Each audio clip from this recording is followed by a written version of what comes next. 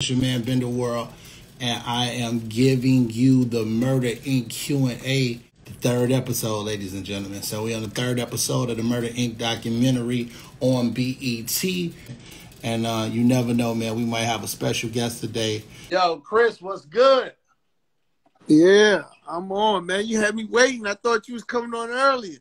no, no, no. I was just trying to get everything ready and get the titles and all that going. How you feeling? I'm blessed, man. You know, here I'm working. I stay working. I'm at the crib, just working, just chilling, not working. Man. And I got a, uh, I got some other things I'm putting together with uh, my man Saint from Okay. Inter- Interscope Records. You know what I'm saying? Shout out Saint. So we getting together to put some shit together too. Well, look, man, I, I didn't want to tell everybody, but what we're going to do right now is I'm going to bring the director of the murder story, Q. You know what I'm saying? The, the director of the murder story. You, can- you can introduce him, but let, me- let me get bro in here. We all on different. There you go. What up, what bro? up? What's happening? Finally, I'm Finally. in here. Tarek, what up? Yo, What's good with y'all? Oh, man. We good, we good, man. So, Chris, why- I want you to introduce him, man, because it's a very interesting story about how the Murder Inc. documentary came about. There was Yeah. an unofficial documentary which he did, and you guys discovered on YouTube. But I just want you to talk a little bit about, you know, meeting them, and we'll go from there. T Dot, what up? You know what I'm saying? Don't worry about me, Michael. I shout out a lot of the people where they be on my live and shit. All good.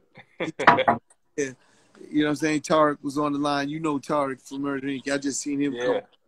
But this is Michael J. Payton, uh, Yeah. Oakland's finest. they stand up. You know, so Michael J. Payton um, was, is the director of the official documentary, but he what he did, uh, Benda, was he made an unofficial documentary that I got eyes on and got to watch that I thought was so well put together from an independent standpoint without physically knowing us, which means he did a ton of background information, researching to really do a, a real like field documentary.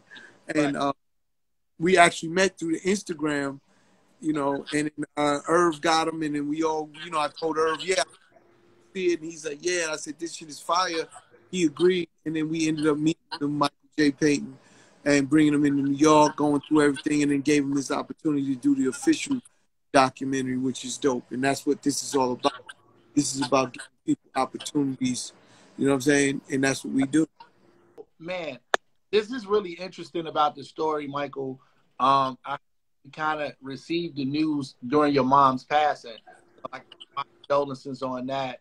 And I, when I first talked to you earlier, I said, man, it was a a, a gift from mom. She shot you the alley oop, uh, something she was passionate about. Tell us what made you decide to do the Murder Inc. story. well, man. Well, first of all, thank you for having me on, and uh, man, it's a blessing to be here. Right. Uh, we'll, we'll start off. I, I, got, I was telling you earlier. I was an artist starting off Okay. in the game. I've been an artist since I was, you know, about 11, 12 years old. But what got me in the game was Murder Inc. Records. That first Irv Gotti presents uh, the Inc. album that came out 2002. that did it for me. Like I always been a fan of hip hop, but that made me want to be in the business.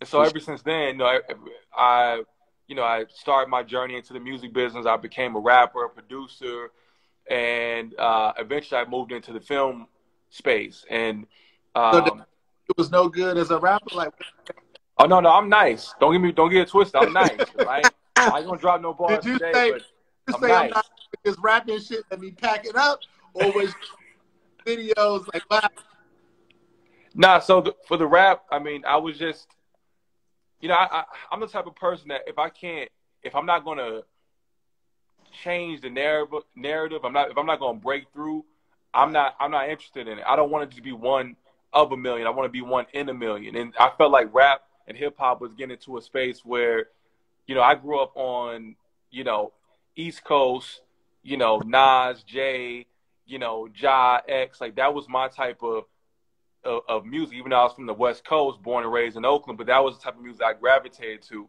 And I noticed that the game was just getting a lot more goofy. You know, the things that you had to do to get on was just a lot more. I was like, I, this ain't really me. I, I'll tell you a little backstory. I was just frustrated with the game. I was like, yo, man, I'm making all these conscious songs and nobody cares. I'm gonna make the twerk record. So I made it to a record that um, that that that I was Not like, it wasn't me at all, but I but I made a record and it got it was called Minimal. Y'all can look it up if you want to. Please don't tag me in it. Um, but I made it, put it out.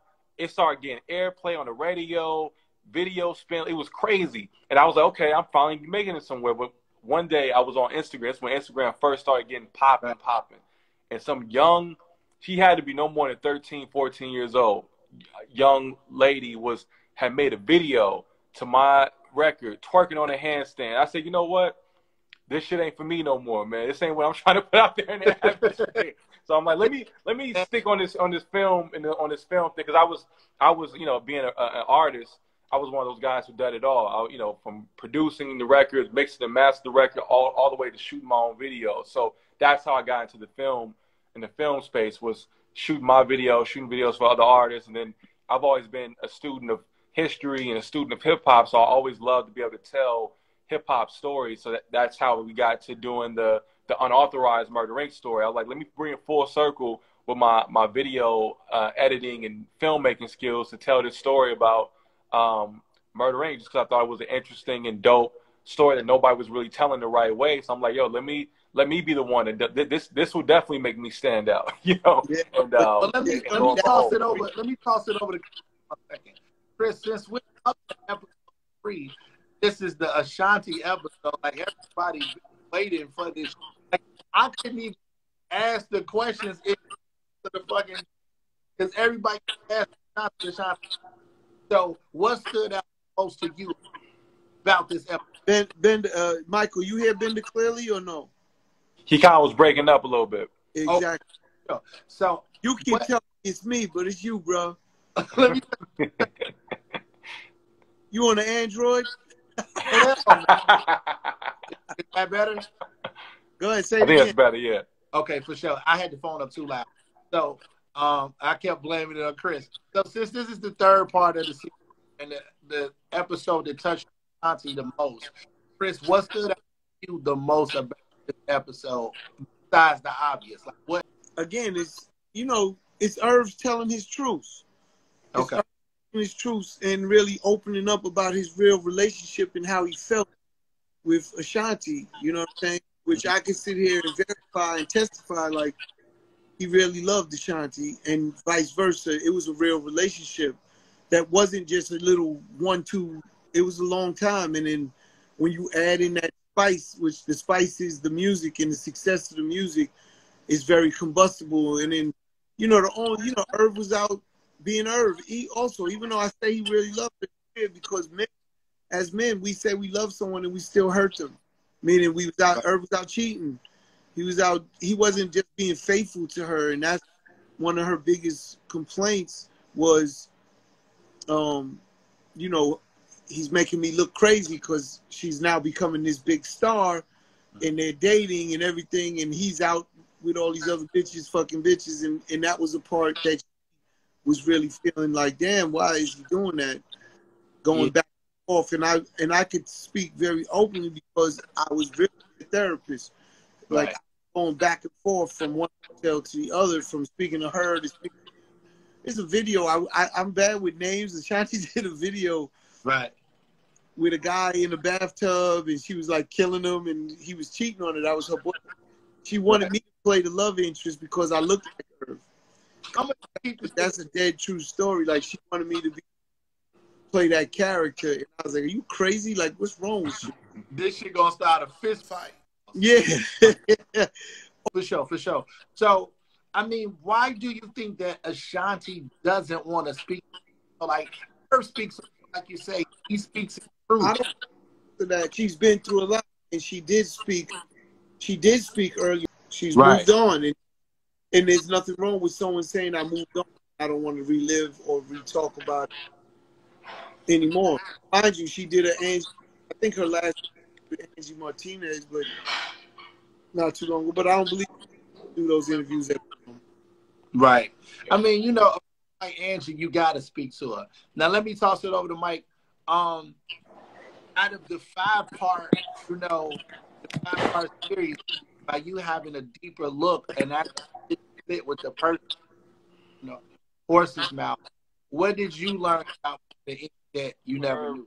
And Chris, for the last three, almost going on four years, that I've been getting all these stories firsthand. You know, so by the time we got to the camera and we got ready to sit down and do these interviews, I was already baked in, right? I already knew the story through and through, both sides. This is a real family. Like this is a real like Murder Inc.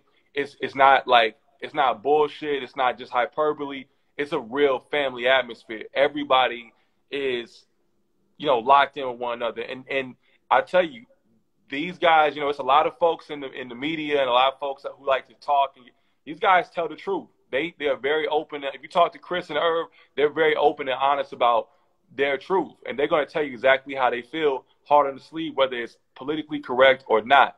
You know, right. and that's that's the you know that's probably the biggest takeaway um, uh, from this whole thing is that you know whether or not people want to agree with every single word that's being said. The truth is that my job as a director is just to put the camera on these guys, let them just tell their truth. I think I was disappointed about was that we weren't able to get Ashanti side of the story, you know, because it does come across sometimes as one sided. We're only hearing one side at the same time. I respect uh, Ashanti's uh, uh, choice to not participate because, like Chris said, she's moved on, and it, why relive some of the stuff if if it's not necessary? Why rehash all these things? You see the headlines and stuff that's coming out of it just from us talking about it. So, you know, but at the same time, you also got to respect Irv, Chris, Murder Inc., and everybody else for telling their truth and wanting the truth to be out to the world. So, out of all the people in uh, in, in this hip hop culture, you know, Murder Inc. is real. Murder Inc. is real. you know? That's a fact. And you know, when when you say that, you know, one of the one of my Saturday in Murder Inc. when she got her star, you know, I, there's no way Irv shouldn't have been standing with her. Like it just takes away from the historical time that was generated and created by my brother and her and, and, the whole team of Murder Inc. and what, what what came about. And here she's getting these flowers and doesn't talk about the world knows Murder Inc. You know, she about Irv in the world. Like it's like it's a story when she goes out point. You know, just on his shows and her never saying it's murder or saying it's murder. Again, it, everyone knows it's murder. It's like it's only like what you're doing. It's not adding a value. And me and her had these conversations before, and I understand what she's saying. I get, you know, there's been a lot of things said about it. And again, I fuck with Ashanti. Like when when Michael says his family, she's still family. You know, and and, she and knows that the proof. The proof is the Verzuz. The Verzuz when uh Nelly came over, I stepped right in the middle not gonna let Nelly come up with the fish, no matter what.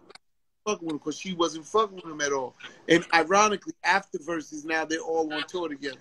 So when when people talk about there's a problem, I've been part of way way stronger beef than relationship breakup, and people made amends and fixed things for the overall betterment of everything. And I, you know, Irvis told me he don't want to talk about it no more. He would love to help her if she wanted a movie, a TV show. But she'll never believe that's true because of things that go on. Thousand percent. But you know, she'll never believe it. She won't trust him to uh, allow that to happen to her again. And I understand. I've spoken to her mother, spoken to her lawyer. You know, they're all. This is all family. All of them. They know. We get it. We get. Eddie Riley audio on your why, but that's what I'm getting. Dealing with fucking uh, Instagram, we should be on Class Live, and we wouldn't have these issues. right. I'm with it. I'm with it. I'm with it. Change from being, you know, people know you the director of the Murder Inc. documentary on BET. Like that got to be interesting for women, the naysayers, your family. Like, you know what? Tell me about it. Oh man, I got so many cousins that um no nah, real like, you hear people say that all the time you think it's cliche and you think it's like nah it's no bullshit like i really got so many friends and people that I, that never fucked with me before that now are like you know but but nah it's all love no it's it's it's all it's been great man like it's definitely gotten a lot of recognition um it's definitely been a, a, honor and a blessing to be able to be able to tell the story. It's also a lot of responsibility. You get a lot of you get a lot of the love.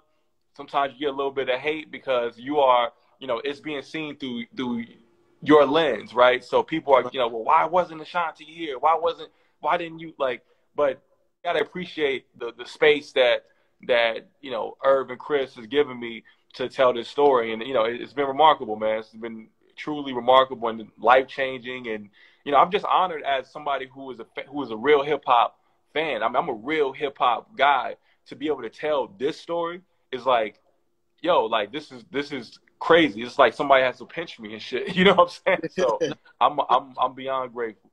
I'm gonna be honest too, man. Like I was such a big Murder Inc. fan in high school, nigga. I went and bought me a leather bucket hat, right, and some leather pants from Wilson's. You know, I really ain't had no money, so I got my leather pants from Wilson's, and I had to get them shits altered. But it's just like, you know, Ja had the Burberry bucket, right? And yeah. I couldn't afford Burberry, but I just had my hat and I flipped my shit up. You know what I'm saying? And then, you know, another crazy story is I think Ja Rule came to eat uh, the click. I don't even think it was called E2 in Chicago one night. It was this big club. He came in there.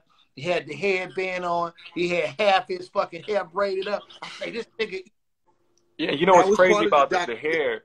The hair is that when you when you and I don't know if we got a chance to even get all the way into it because when you're doing 40 minutes of TV, it's just hard to compact all that stuff in there. But one of the reasons that Ja, you know, grew out his hair because he was bald at first, uh, but people were comparing him to X mm-hmm. a lot, and it was like the X comparison because the voice and all that. And so he was he really struggled with trying to find a way to define himself. That's why he went with the girl sound, with the sound where he was more catering to women he went he grew his hair out. Like, I'm gonna braid my hair. X guy is bald. I'm gonna braid my hair up. And so you just all you know throughout this process. I guess I'll say that to go back to your original your earlier question uh, about what I learned. You just really see how Ja is is continuously thinking and working on how to get himself out of the shadows of J and X. Right? He's always right. seen as like the little brother. And and even even Jay confirmed that when I spoke to him for the doc he was like, yeah, Ja was like the guy who was just happy to be there. We wasn't really taking him like he was like no, you know, n- nobody, like n- no disrespect to him, but it was just, we, you know, we was the two dogs, and Ja was always constantly fighting to get in that slot, and just to see how he maneuvered and was genius enough to know how to separate himself musically, artistically, visually. That's that's just that just tells you how much of a genius he is, and and you know continues to be to this day. Rule carried Murder Inc. man on his back a way that like like like Chris always says in true rule fashion. Like I went and listened recently because of the interviews I'm doing with you guys. It like to DMX video and just like yo, this nigga's my hype man. It rest rest in peace to X. Like no, you know I'm not I'm not bringing up no bad blood, but like X was really talking his shit. But Ja didn't back down, and even with the 50 shit, I felt like he should have responded sooner because I felt like the smart thing that 50 did was utilize the thingy musical pocket. It's like, damn, you're talking shit about him, but you're using this melodic singy pocket. You know what I'm saying? Mm-hmm. And I'm like, okay, I see where this is going, but you know, he John never really just jumped off the porch right away. He was in mode. I would have attacked his ass. I wouldn't have waited. I just you know, that was all just was designed. Irv was saying, "Don't do it, don't do it," and you know, you can't silence young Malcolm but so long. And you have to let him go. Everyone says now when he went, it was the wrong time. So right. damn if you do, damn if you don't. It's still God's work. Right. And, and, is, is what it is. And it was such a different time in music. You know, like at the time, it so, was like it took. I mean, I can imagine. I wasn't there, but I can imagine it took. You know, I mean, at the time, Murder Inc. was so big. Ja was so big that's like, could you imagine like Michael Jackson responding to some like kid who's like a singer on the street corner. Like, no, like he's he's Ja. This guy was here. You know what I'm saying? So, and it just the, the, the industry wasn't like that at the time. It wasn't as interconnected with the streets and the tweets today as is as it was, you know, back right. then. Everything was really like, yo, their industry. This is the streets. We're, we, you know, we made it. Like, if I'm not responding to some dude from the block. Like, why would I do that? But and you know you what? know. I think that's a great PR move in certain situations. I just think for the sport of hip hop, like you know, anytime somebody say something, people want people to respond. You know what I'm saying? And like even with Ja becoming an artist that was outselling Jay Z and outselling DMX, man, that's huge. Like that's the biggest flex. Like what the fuck? What else do you need him to say? And at that point, it was nothing really to say. So I can understand where he was coming back you know, with that with that point of view. Chris, when y'all were working on the Ashanti records, because we seen her get her first show at like Madison Square Garden, and she was nervous with the butterflies. Oh, uh, she it just all came full circle. She knew that moment would come. Any, for any artist, come on, that's a surreal moment. You've dreamed about it since you was a kid. She just think she had three deals. Let's keep it a buck. She probably was almost ready to give up. Probably when we got her. You know what I'm saying? Thinking it's not going to happen. Then all of a sudden it does happen. It's wow. It's so it's a real moment just for herself. Again, I'm speaking for her, but to me, I know she was in a place.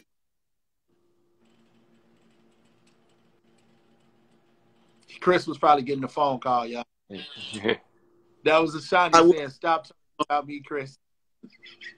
Yeah, no problem. Yes, she was in a place. It was surreal, man. It was like wow, mm. my dreams are really coming true. And then, you know, Irv said he opened up to, and then she felt that confidence, you know, as a performer, as an artist. I'm not a performer, but I perform in the sense I do shows, I do my events, and I had to walk on the outside and, and being on the stage. Now I could only imagine what it's like when you got tens of thousands of people, you know what I mean, and, and that energy that you're dealing with. And, and, again, it takes every artist to get used to. When I dealt with fighters, they would walk through that to get to that ring. They all go through it, and it's how you handle it is who make it, it, uh, once you go through it that actually makes you who you become and who you are. So this is my next question to you: Who sold the most records, Ja Rule or Ashanti? Oh, that's easy, Ja Rule. You know what's crazy? So my lady fans, right? They've been on my ass, your ass, Irv Gotti's ass, everybody's ass. Like, and, and listen, it's no diss when we say that. I know Ashanti is an amazing artist. Um, I loved her tone, just that pretty spirit. Like Irv said, he wants to make her the princess of R&B, like like Mary J. Blige. And I feel like what he did with her, it was never her because it's like, okay, yeah, Mary was one way, but the records that so me working with artists, even as a, a songwriter, you know, sometimes you hear people be like, "Don't be so singy," right? Just kind of like hum it out a little bit, like give it a bop, be a little lazy, a little more this. And I mean, that kind of changed the whole sound for everybody. And like that, Murder Inc. made a sound like hands down, nobody can dispute the fucking sound. And it's like I don't I don't know if that'll ever be done. It's something that you wanted to accomplish that maybe you didn't accomplish with Murder Inc. Man, I would have loved to have more artists. Um, number one, we never got the true opportunity to let the world get to our other artists see what they the world mm-hmm. from a music standpoint. You know, that was something that I really thought we didn't get, To, you know, hone in on really. Because technically, you know, we have Ja, we have Ashanti, and we have Lo. Right? Those are successful artists in the sense of they have projects that was doing did well. So end of the day, that's what we that's one of the opportunities I wish I wish Black Child would have got a chance. That that that dude's so raw, different. His style of rhyming, everything is like to me he could have created. Shout out Black Caddy, you know, uh, Charlie Baltimore. I mean, I wish they would have had a real opportunity finished. And again, when I re- seen the documentary, and Michael, you could jump in on this one because, right. like Vita, Vita was saying that she didn't get the opportunity. I could disagree. I hear them, but I do disagree because they all had their opportunities, and then yes, they didn't walk that window. So uh, Vita's problem was she didn't write all her music. Okay. And she would take, and then uh, Hype Williams is who brought us Vita, and okay. Hype Williams owned basically her publishing. See, these okay. are the back, hey Mike, these are the backstories, bro. Yeah, backstory. Okay. The backstories. Backstory. Irvin Hype, like Irvin is, you know, that's family. The hype is family. Hype Williams, we was with from the beginning of his career. Like, so we're family. And he says, I want you to sign Vita Herbs. And he's like, I'm gonna make incredible videos her, blah, blah, blah, blah. Herbs said, cool. But her problem was she didn't write. When Hype realized the business and he owns the publishing because he got her signed and she doesn't write, he's not gonna get the pub. He didn't want no one else to write it for her. Wow.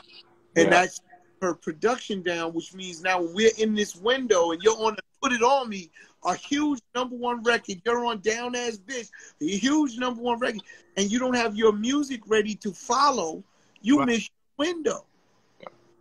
Yeah. And that, okay, with Charlie Baltimore, Irv was ready to release her music, and she was like, wait a minute, Irv, I don't like these records.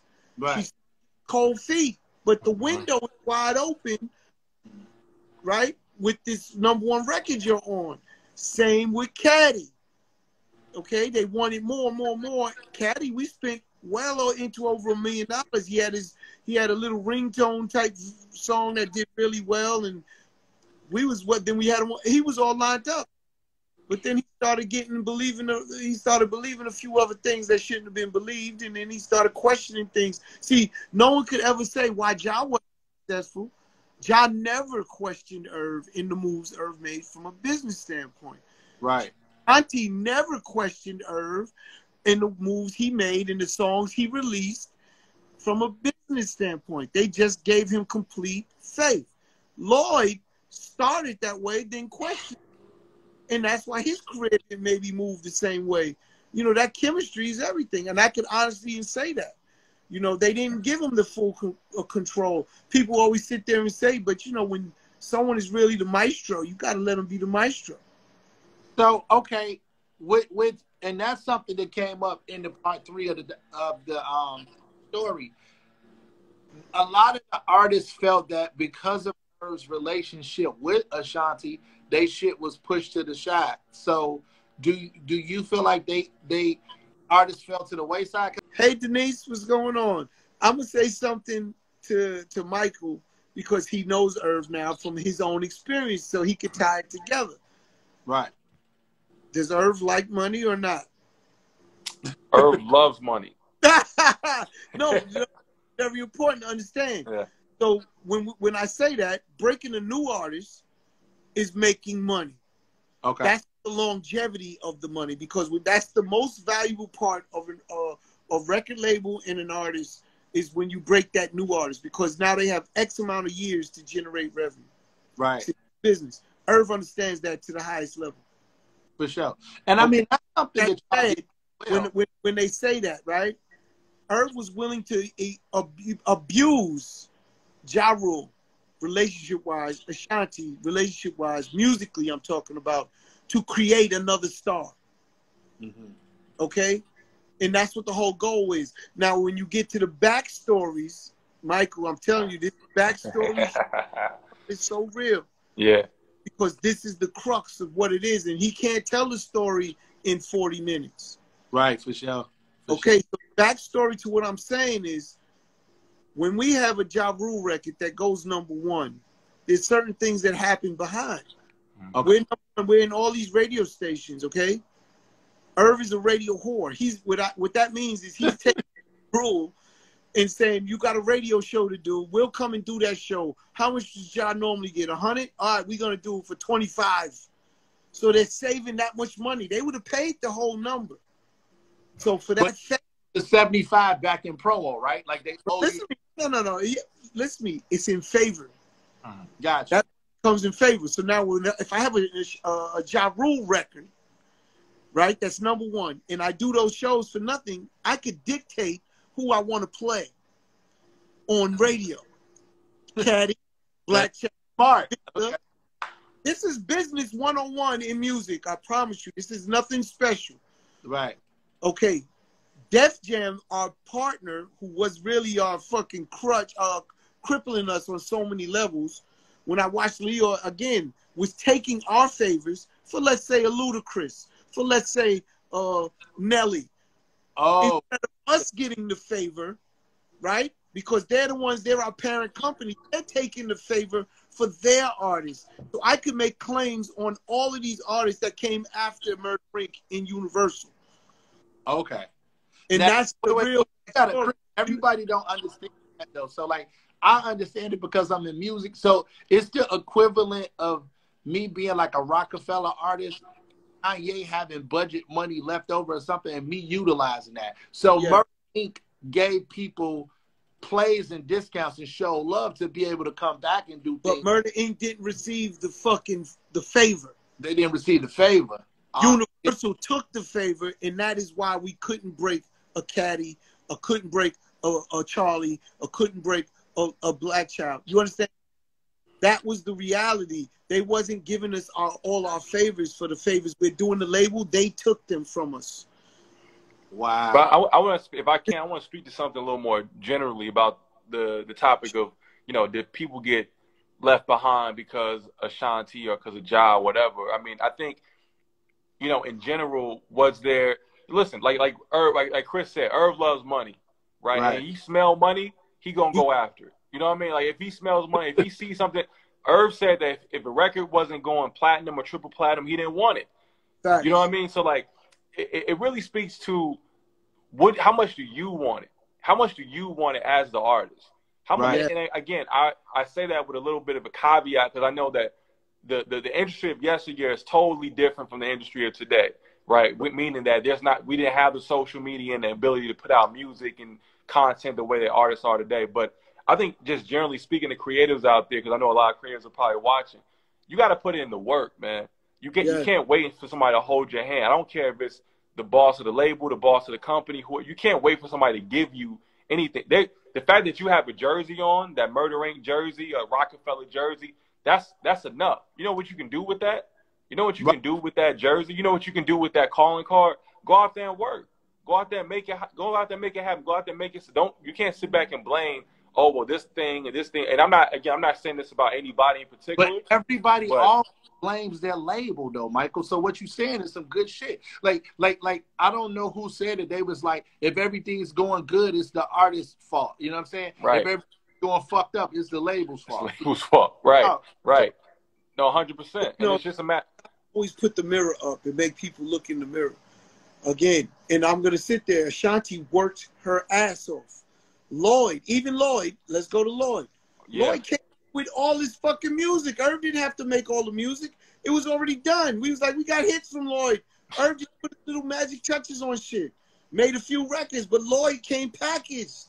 even when even when even when shit got thick, right? And and the Inc. had to take a little back seat because of the case. Lloyd went out there and worked his own record. He worked you. He was working on the streets and brought it back to Irv. Said, Irv, okay, here you go. Now let's let's put the real battery behind it. So that, That's that's that's the, that's the type of energy. monster, man. I love No, Lloyd. that's Monster. that's what it's supposed to be, and that's one thing. You, and when you learn about working with Irv and working around Irv, is that again, Irv is is is always looking for the next. You know what I mean? The next cash out. You know what I mean? So.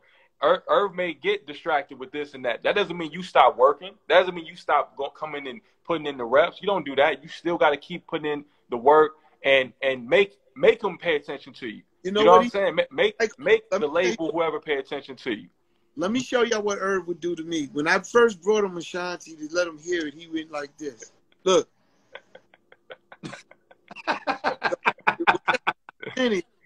And I know as soon as he did this, I know what he's talking about. Tunnel vision. That's like the horses. They put blinkers on the horses so they can't see nothing. They only can see what's in front of them. right. And Irv said, I make money with Ja Rule, nigga. What are you talking about? So that's what he was. Right. So when you say, like, all these other things, he has Ja Rule, he has Ashanti, he has Lloyd moving. He is focused on how to take them to these levels. Not saying he's not thinking about them, but that means you may have to put in a little bit more energy and effort in your own business to get his attention so he could really push in. But when he did push in, in his defense, because he did, not one of them was ready. Hmm. Not Yeah. one of them say, yo, go with that record. Fuck it. Every one of them got cold feet. So Yeah. Again, that window closed. Now I got to build them all the way back up again. And they don't understand that from an executive standpoint because as an artist, they think it's just one, two, three. Oh, just put me on and I'm on. That's it. It's So- But how do y'all balance that shit, yo? Like, how can Irv be a producer, producer, cultivating a sound and be your be your executive? I don't your executive. I don't think it's a conflict of interest. I just think it's too much to put on one person. It's Well, like L.A. Reid is putting your album out like producing your album. person, but he had a whole team. Me being the biggest part of the team, putting all of these producers together. You understand? That was what I did. Running the company so he don't have to think about other parts of the business. He could only be on the creative side of things. That's what I did. So it was it's again, he may not say it, but it's all right. That's because in his world, he did it all. But I signed every check. This this Right. in this next uh episode, episode four on BET. Make sure y'all go check it out. Nine o'clock.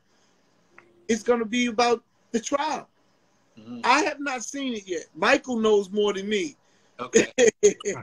I have not seen it, and I, if it's about the trial, there's no way Irv could tell the story Definitely. about No, definitely. Mhm. properly. Properly, there's not a chance in hell he could tell the story. He was not present at those behind the scenes building up to the trial. He was there every day for the trial because you have to be there. But all the other days he was not there. I was there.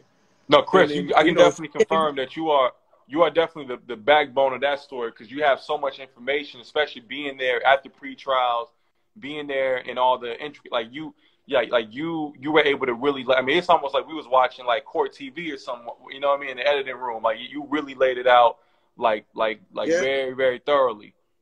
That's for Yeah, sure. thank you. In the day, But when you the trial, guys, like, I mean, that that's a tough time. But I actually don't want to get too much into the trial since it's the next episode. I'm gonna stay off of the trial. yeah, yeah, yeah. Yeah, I That's a don't whole want episode 'cause right there. call me, Yo, Benda, don't be talking about next week shit this week. So, I mean, he, he's a busy guy, but I see what you see from the family vibe. Like, he, Tr- Chris is really fair about making sure everybody eats. He's really fair about making sure everybody gets the credit. So, I mean, I've never heard bad business done on the Murder Inc.'s name. Like, I really don't hear, you know, disgruntled artists over there. How do you keep that shit together, man? Is it just because you solid or you're transparency. I had to learn legal uh, jargon in music, right? I had to learn the music industry business. And then when I deal with an artist, I would break it down to them, explain to them why, so they understood. I would do that with every producer, and then they understand. Now, listen, uh, producers tried to sue us, and I would tell them they're wasting their time. And then they realized after they got a lawyer and spent money and wasted a bunch of money that I was telling the truth. And they came back to me and apologized. Even Chink sued us. And Chink's still with us to this day. he sued you and he came back?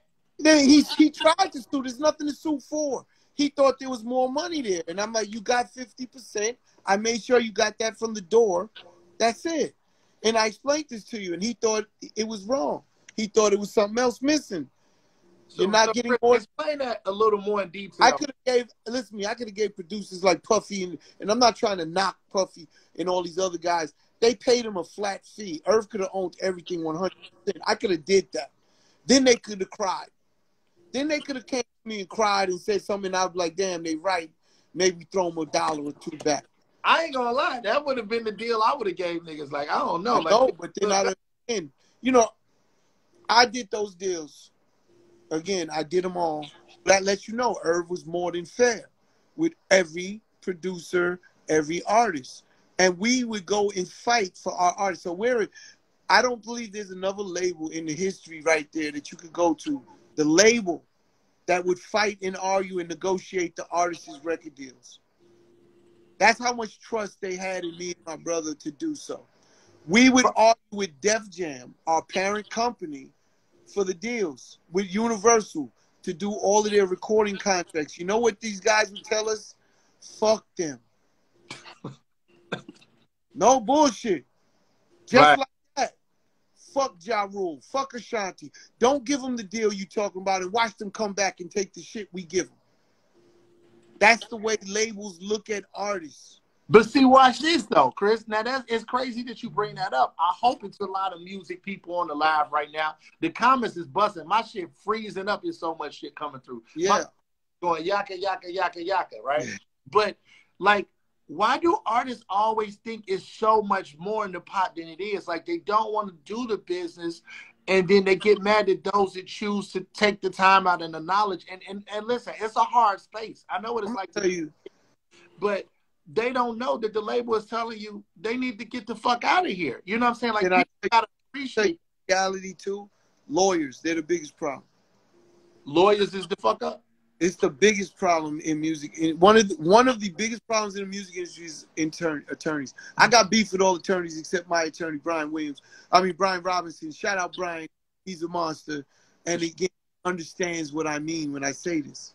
See, they're the ones that's supposed to educate what the label is doing to the artist. So every time there's a deal and you hear an artist saying they didn't get treated properly, go back to their attorney. Where was that nigga at? Where was she at? Right. deal. No one signed a deal with a record label without an attorney or representation because it would null and void the deal.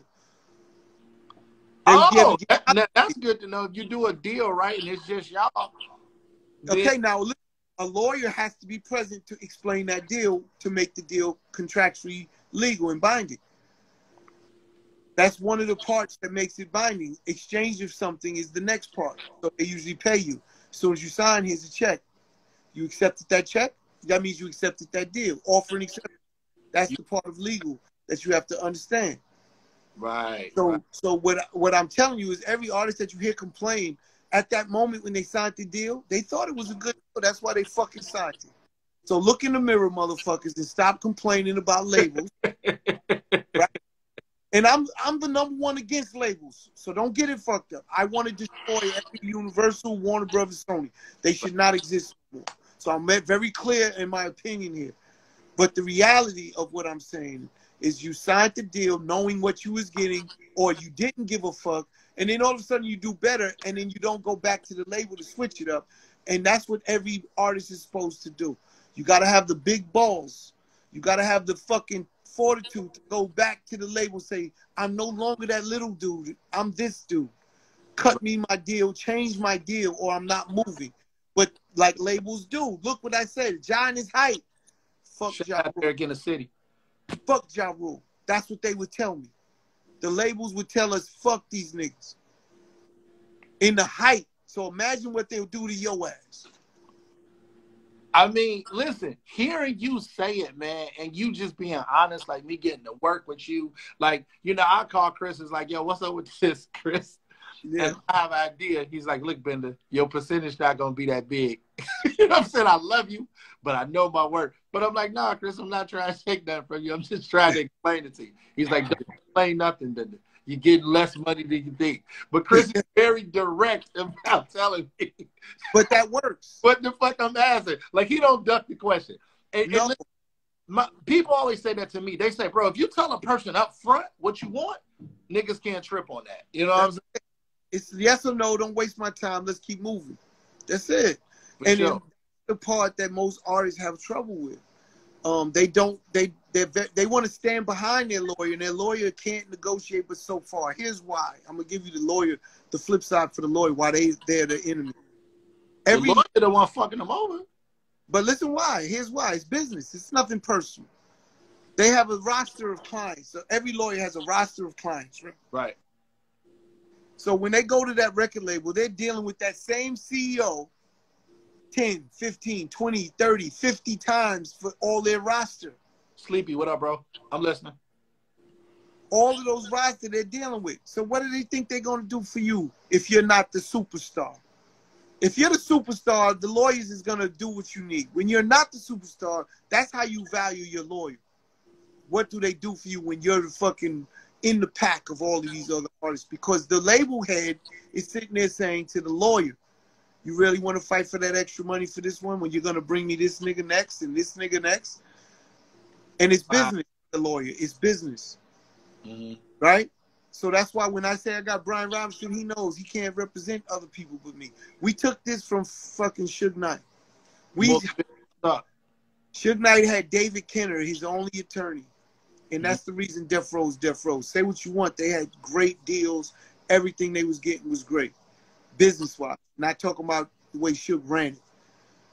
Okay, so so the money that you gave out to producers, they didn't give out. They was it wasn't no fifty percent split on the on the production. You, Lance, what up? When you say that, what what do you mean? What I'm I'm just saying you're you're saying the way that the company ran as a whole, it was strong because the deal structure that they had and the support of their attorney. But do you no, think- we paid everybody. They got their money. They wanted more. They thought if, I, if they everyone thought if they was paying you this, they have to be able to give you more. It's not my fault. I put them at the ceiling to start. Does that make sense? so they did- got the highest level to start. They I never changed and renegotiated the deal when they wanted renegotiation. I said this is nothing. All I can do is advance you money, but I'm taking that back. Just recoupable. I'm recouping it. I can advance it to you, but I'm not. This your jail structure is the same, and their lawyers would get upset. But I'm like, I'm not moving. The lawyers know what's up. They know why I'm not moving. You want to rob me? That's not gonna happen. But they never seen someone do business like that. Right. Usually they start you at the fucking bottom, let you get popping, and then incrementally work your way up, and they never let you hit your ceiling. Mhm. That's what typically happens. That's why you hear all of the artists and producers complain. Because they start with your entry level deal, and then you got to work it all the way to fuck up or break free from the person to get what you truly deserve. right. Exactly. Started you at the top, 50 50 with an Irv Gotti who's popping. Fuck out of here. You can never get what he gets. It's even. That's the best you could get. You cannot get more.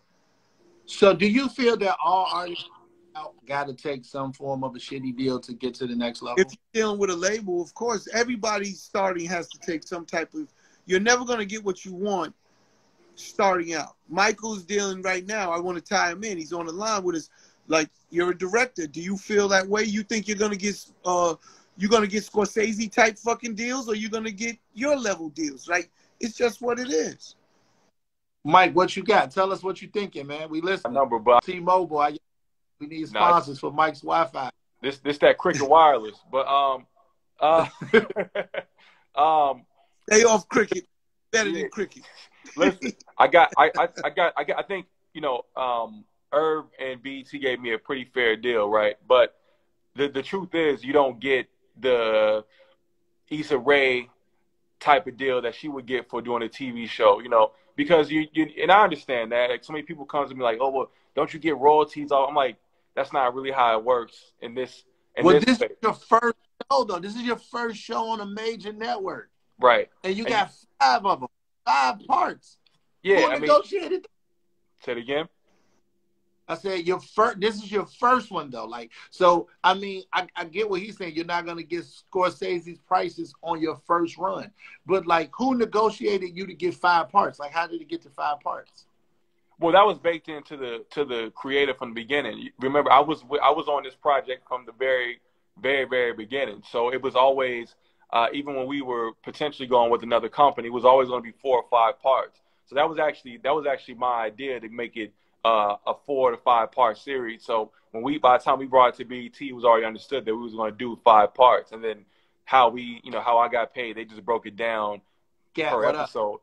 But but yeah, I mean, my you know, me and my lawyers negotiated that. Shout out to uh to Colleen, my lawyer, for, for working that out. But no, I mean, listen, I think that, and, and I've always been um I've always been a student of of Irv and Chris. I, I used to I, I told Chris this, I told Irv this.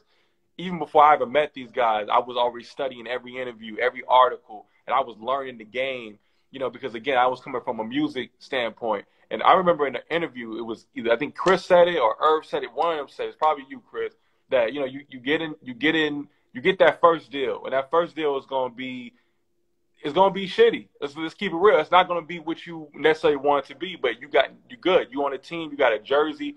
Go out there, make yourself hot, get hot, make some Mhm. records, make some you know make the company money. Come back with a match with your pay with your contract and put a torch to that bitch and be like, yo, it's time to renegotiate. You know what I'm saying? So like that's that's and that's just the I mean, people gotta understand if you're dealing with the label, if you're dealing with a company, you're you're um, I'm an unproven product up until uh up, up until Murder Inc. died. So, uh, and the, Proof of concept. Yes. I, I've done independent projects. I've done uh, a shit ton of things on my own, right? But at this level of the game, I'm in the NBA now. I'm in the NFL.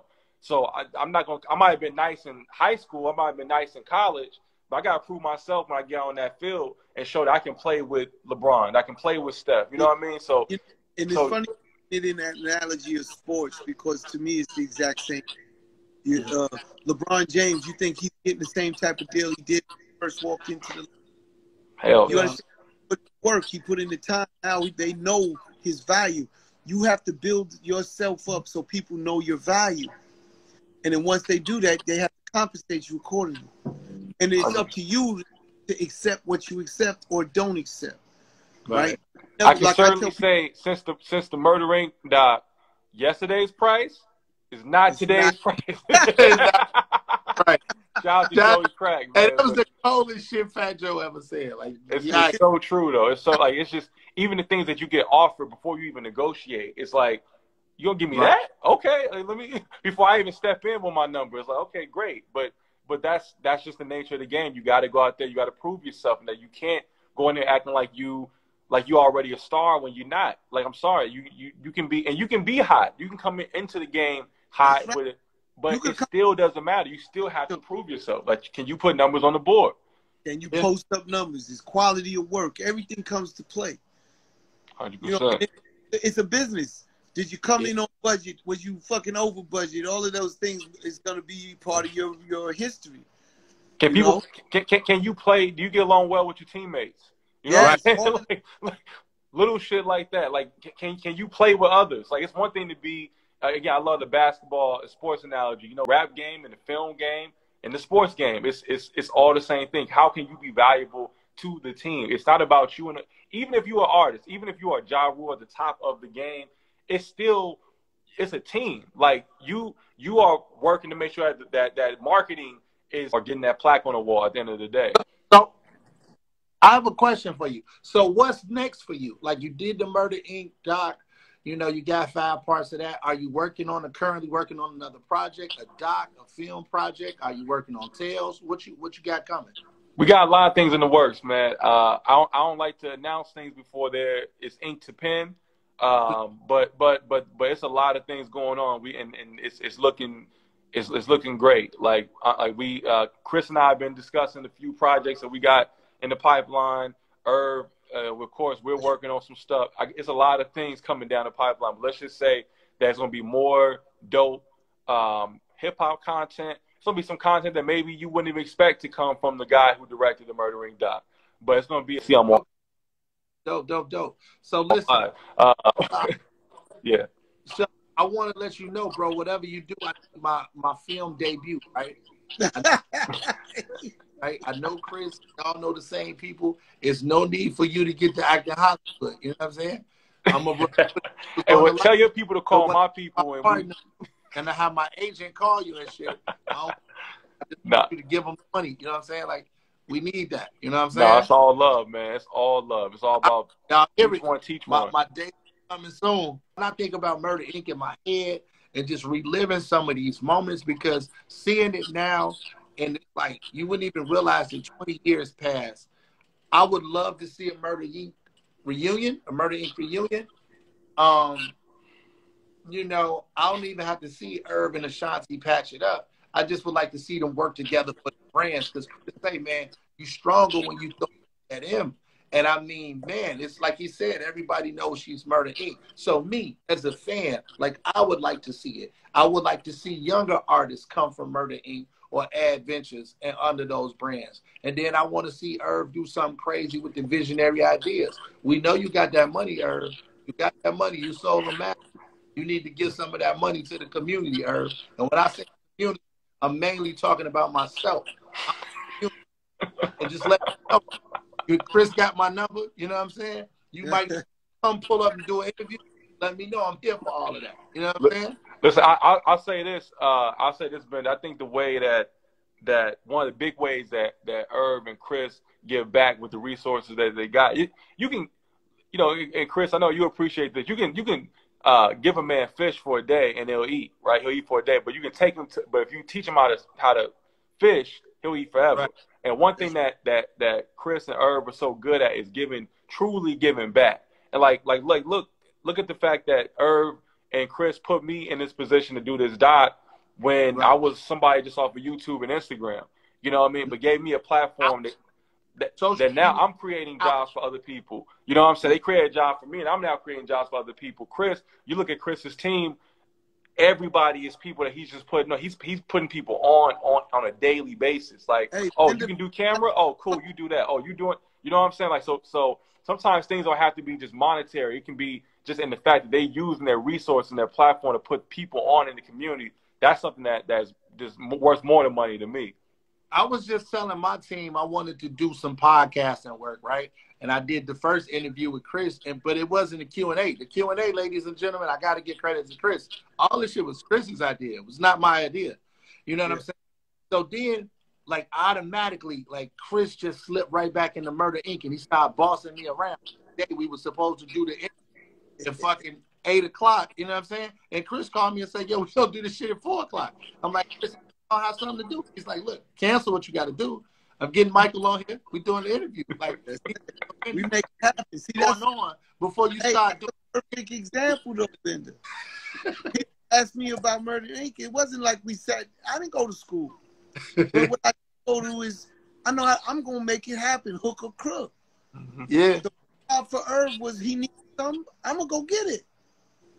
For I sure. see right. with, bro, from the very beginning, and all I did was empower him with anything I can help him with. Mm-hmm. And I made, and I also made sure no one fucking interrupted his thinking. That to me is the most valuable part of what I did. Niggas could not talk to Irv unless it was cool because I want the, the goose to lay to be disrailed and thinking about other things. I needed him. I needed him like this. He's the one I needed like this. He would tell me this but I needed him like that. Mm-hmm. They focus, and I can sit here and I, I, can make I can make statements when he didn't when he wasn't like this when shit went off. That's crazy. Now listen, everybody, y'all listening. If you just not tuning in, because I see the flashes flashing, you tuned into the Murder Inc. story Q&A episode three. I got Chris Gotti. I got the director here, Michael. Shout out. They're working on more projects. They got the Murder Inc. doc, but they also got Tales on BET as well. Uh, a great, great series. All for Benda World. Yeah, you know, made in America coming. And uh, man, make sure you share that. Make sure you sharing this live stream. The button is there for you to just share with other people so they can watch it on their way home from work. Uh, Mike's on the West Coast. We all on different time zones. You can hit the share you can hit the share button or you could purchase a badge. Listen, if you want advertising, if you want us to shout you out in your business or your brand, you can DM me for that information, right? I got the flyer. You can send me a direct DM if you want to sponsor the show. You have sponsorship opportunities, and it's real. Like, yo, I got the biggest traction I ever got from live streams being on with Chris. And this shit go from here to, to TikTok to YouTube to everywhere. So that that's gonna live like, yo, at the end of the day, you want people to hear your name. You want people to recognize who you are. But you're not gonna get free. You know what I'm saying? Like Chris, he's like, yo, my time costs. Everybody's time costs. So yeah. I want you mindful of that. I want you to take notes. You know what I'm saying? If you hear something that you want to know about, if you want to reach out and do business with them, like I said, if you're an artist, Adventures is the way to go. It's this digital distribution platform, and it's a big opportunity. Because and we about to do a tour. 25 cities. We're gonna be in a city near you, bringing all this shit right to you, live and in person. And, and, and you know what? I got on the phone with Chris. We did a conference call a couple days ago. There's a major artist out of Chicago. I won't say who the artist is, and the, they were like, they want. I was like, yo, Chris would be perfect for this. But you know, you just gotta realize everything. You get to a certain point and you hit a ceiling. And Chris is like, yo, people get to a certain point, they need that help. And I just want to be, you know, even if I don't make a dime from you guys watching the live stream right now, if you go to Chris and you get your music out and you're able to distribute your shit and get in places and platforms or license and sync, man, I just hope that I help somebody. Like it's really like, yo, don't get it fucked up. I'm like Irv Gotti when it comes to making money. I love the money. But also, I'm just trying to help. You know what I'm saying? But don't make me regret this shit. Like a lot of times, have you? So so personally, either one of you guys, have you regretted helping people? Like you know, you know that's a great question because I get that all the time, right? And they say, "Do I regret like helping people that I helped?" And I, I, I sit there and I tell them no, because it's pure, and that means if I didn't help you, it would be like I'm trying to stop you, and that's negative. Positive. Right. I want to do nothing negative. I only do one of two positive. And then yes, I helped the guy that brought the trial together. The guy named Darnell Nichols. He's under witness protection right now. Everyone talks about Preme. It was Darnell Nichols, who was homeless, who I put him with me, had him making money, crazy money, and then he went and told the story because he got caught with um, the Skytel pages, and the feds was locking his ass up. So he gave him this Murder Inc. story, which they bought hook, line, sinker. And this is a nigga that was homeless that I, and I still would do it today if if the same wow. scenario came about, because it was from the real place. It was pure. Yeah. You know, I would do everything I did with Preme because it's pure. You know what I'm saying? It was me. Nah, no go. I would no. be like all homeless people away from the office, and I would have security. I cleaning niggas up. Me, feel me? Because I don't see, I can't. You know, it's probably why we won because God ain't gonna let something happen to someone that's only being a soldier for these people. Facts. No, I mean for me, I've never. I can't say I ever would regret helping somebody because to me, service service is in my DNA. You know, yeah. like I, am not here to be. It's not right. about for my vainglory. It's about how can I be of service to somebody else. How can I take the platform you know, Jay says it, and his and and uh, and God did. He said, he said they don't fucked around and gave the right niggas wealth. You know what I mean? Meaning that they, that that that the right people got the resources now, and we're gonna do the right thing with it. So you give me the ball, you give me the resources. I'm gonna always be be there to help you. Now, what you do with it, what you do with that, what you how you you know how you use or abuse our relationship is that's totally on you. It's never gonna stop me from being who I am. You can you can uh, stab me in the back a hundred times. I'm gonna keep turning back around over and over again because that's what you. I wouldn't be here were it not for somebody giving me opportunity, and not right. just from the Murder Inc. doc, but from from way back. Every step of my life, somebody been giving me a, a hand up, not a hand out. So I'm all about giving people a hand up, and you know, not necessarily again um, giving people fish for a day, but teaching them how to fish and giving them the resources and the knowledge and the game to move that's forward. But but please don't, you know, just don't don't take advantage of it because you do at your own behest. You do you will regret. You will be the one that regrets. Facts. You know, fucking me over, not vice versa. over here with me if you want. You can try to get fancy with me if you want to. That shit ain't gonna fly. Right, right. yeah, you know, you know, they, they, they, they He's on Chicago pimp shit, Mike. That's all it is. He's on Chicago pimp. Y'all know it. Hey, listen, I'm from the, I'm from Oaktown, so you know we already know how I get down. somebody put a link. Somebody put a link to their music in the in the comments, right? And I'm watching all the comments. Y'all might keep seeing me squint, but we can't touch it. We can't watch it. But what would be the better thing for you to do is buy the live mention so I can shout you out with Chris in front of everybody so they know who the fuck you are. Because I'm not gonna say the name you know what I'm saying? But I see the links in there. But like, yo, and that's another thing. Like, yo, it's nothing wrong with correcting somebody. I'm not shitting on you. It's yeah. all at least give us something that we can entertain it. Even right. if you add a live mention, you get the conversation. I got to talk to Chris about this. So you get to get both of us to listen to you at, at, at a certain cost. Right, right. For a, it may be a minimal amount of time, but like, you got to think about it. I just don't want you to waste putting the link in there and we can do shit with that. You know what I'm saying? But I want to I want to address that. I want to address that because I get right now what's been happening since this Murder Inc. doc is I'm getting your so inbox been people. fucked up lately. Oh man, everybody's sending me links to music, to transcripts, and everybody says that, that they're the next. Th- like, let me tell you something. That that I don't want to say it doesn't work because I don't want to sound like a you know a hater or nothing like that. But right. you got to do the like, just back to what I said earlier. You got to do the work, man. Like simply putting stuff and people like, yo, there's a billion rappers. Like literally there's like a billion rappers. Like yeah. and singers and creatives out there. How are you gonna make yourself stand out? Do the damn work. Like go out there and do the work. Make me pay attention to you. like I didn't I didn't go knocking at Chris or Irv's door and say, hey, I I know how to make film. Can you guys please let me do the? I just made the doc, put it out there. They sure. they came to me. I didn't have to knock on their door. You know, hey, I had to knock on their. You know what I mean? What, what you, you say, did Chris? is understand, and that's one of the things you have to understand. When we're in different places, we have to understand things we take. Look, I just said I would never, I would do everything the same. Benda was like, hell no. He would tell every all them niggas stay away from me. You look what you're saying. You did the work. It's the same thing. We're we're not we're not regular. Like we're we're part of a very small population that would do the things you're talking about. Mm-hmm. And it's the reason you're in your position. It's the reason I'm in my position. What's up, man? Things this is what changes our lives, and and then we're trying to pass it on. But the reality is, they don't do it. Yeah. They don't understand, and it's like, but really, this is all it takes. I didn't know anything. I just worked my ass off. That's it. That's it. Yeah. Work, work hard. Learning. Everybody's learning, man. You know what I mean?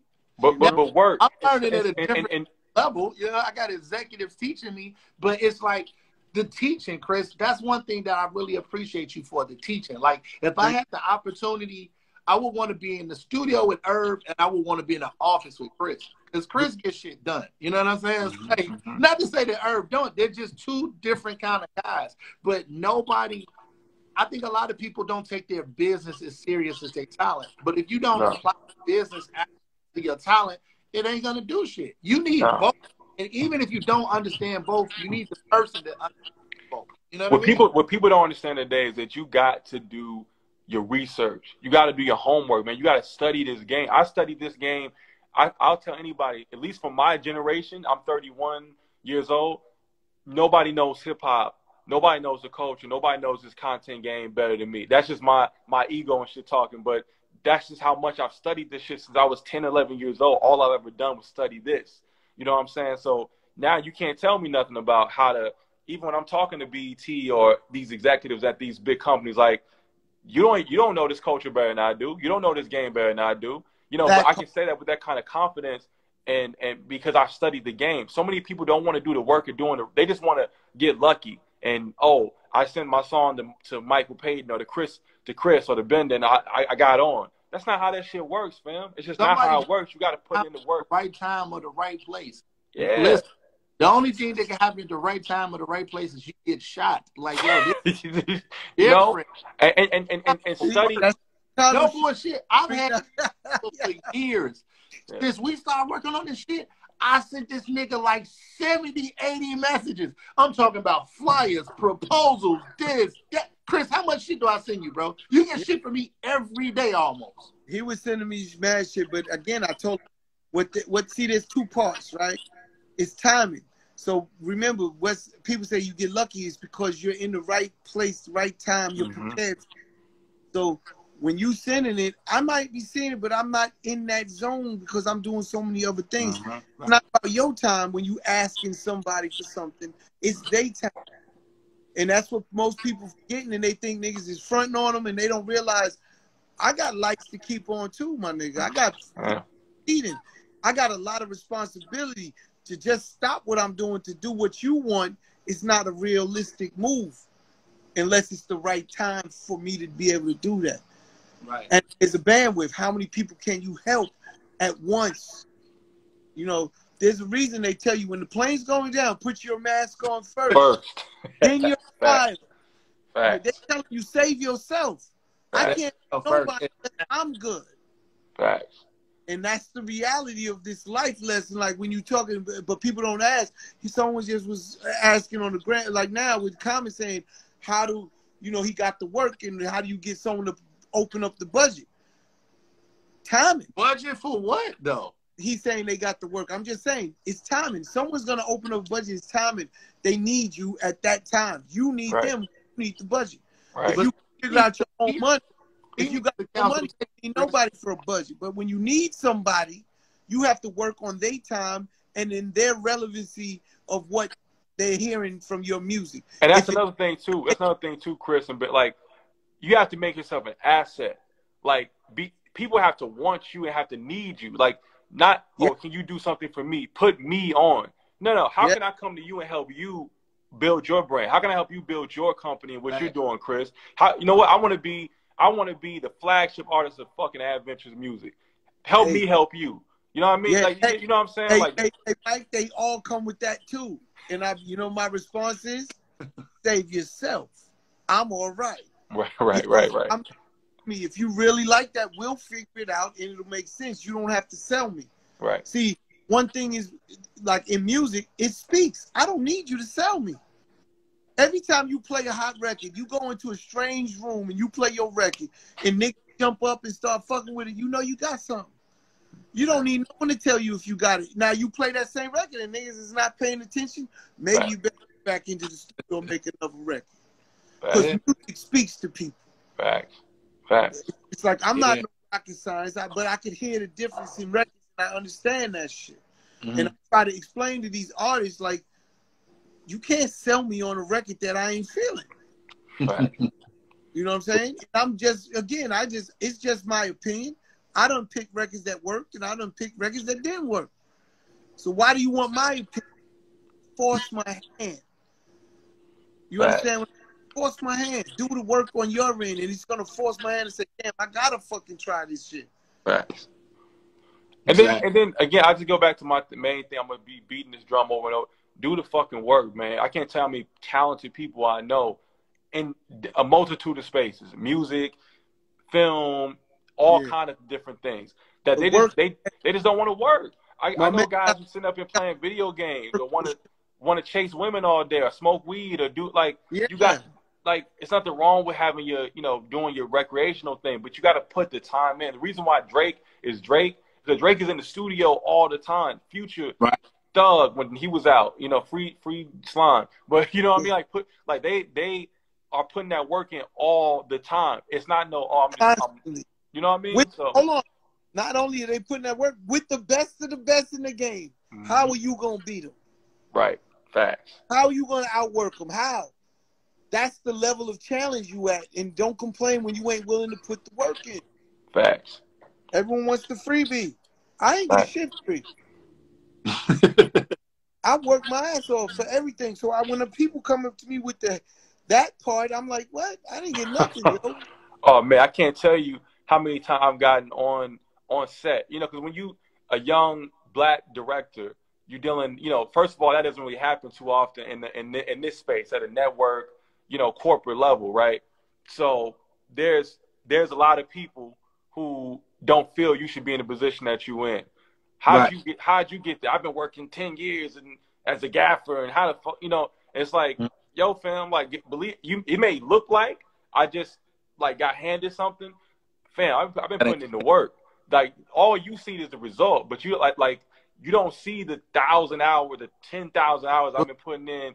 The, like we were saying earlier, I had to get had to be ready for this moment.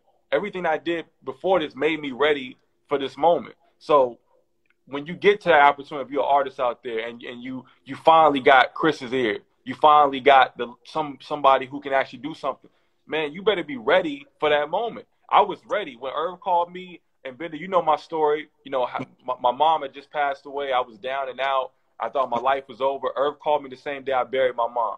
You know what I'm saying? But even through all the pain and grief, I could have been like, I could have been whatever. I could have used that as an excuse to fuck off. Capacity. That's what you could have said. Yeah, I can be like, nah, man, I'm not. Re-. Nah, I, I like right. I said, oh, this is what I'm supposed to be doing. All right, thank you, mom. Thank you, God. I'm locked in. I'm here now. I'm not gonna let because I want this more than I want anything. I want this. I want the the the, the career and the things I'm building more than I want anything. More than I want uh, some girls. More than I want some to get high. More than I want some some Right. regular pleasure just right now. Nah, I want this more than so you gotta want that so hard that nothing. I don't care if if, if God forbid you do lo- lose a loved one. If you do meet some kind of adversity, you gotta be ready for that moment right there. No excuses, man. No I'm- excuses. And I feel I, I what you saying resonates with me, man. I've been chilling on the ladies. I've been doing my push-ups. I've been doing my fucking research. I've been tapping into my connects. I'm like, Yeah. what can I do on my brand? Because at the end of the day, you know, nobody lives forever. But you got to understand, if you go, it was like I don't know, it was it Steve Harvey or somebody was saying, if you die, bro, the last thing that you want at your deathbed is all of the dreams that you didn't fulfill. Yeah, facts. You know? facts. Yo, the women they gonna be there. So ladies, y'all keep y'all keep applying that pressure. I might not fresh up. You know what I'm saying? They, they'll be there or they won't be there. But the, the truth is, you know, I'm Get- 55. They not going nowhere, nigga. listen, get get hot. All you gotta do is get hot, man. You get Yeah, hot, they- they gonna be they gonna be there. Ladies- You know what I'm saying? Like for, for, forget like forget all that, man. I I went years. I'm like, yo, I'm not I'm not getting no relationship. I'm not doing nothing. I'm I'm locking in on this on this, on these dreams, and that's Prison- it. Smash half the girls in the industry. Ain't shit left for us. We might as well get to work because they told they clean shit up, man. Chris, Back hey, LA parties. don't kiss and tell. I'm not, Guys really let their head down. I'm not doing that, Ben. I don't kiss and tell. No I sir. have, I have great relationships with all my lady friends. You heard me? Hey, no, that's I'm a very look, faithful I- man. I got one last question, man. Yes Two, sir. Why you never? Why did y'all never think of signing Lil Mo and like Charlie Baltimore? Like, what? What happened? Like, I just feel What do you like mean with Charlie Baltimore? Baltimore never got the shine. Like, and I don't think it was intentional, but I think Charlie Baltimore was dope. I just said it. But Charlie, I'll take Charlie first. Charlie was on deck, album ready, on number one record, and then she didn't want the record her pick. That's the truth. For Charlie, Charlie was ready to go. Irv was ready to put the money and bag behind it, the marketing and everything. And she didn't like the record she had to go out. She got cold feet. let me say this. This I got to say this, Chris. Most artists, and I hear this from a lot of execs, the record that you don't like usually be the fucking record for you, right? The record that you don't like is the record. So don't be bringing me this bullshit trying to tell me what you think because it's not about what you think. It's about what people think. You know what I'm saying? So Hey. Herb, listen, listen to what he just said. We were going to release the budget and the project, but That- the artist said no because they didn't like the song. But Y'all think about that for Uh, okay, here's I'm gonna tell you more about Irv. Irv wants you to give him full belief.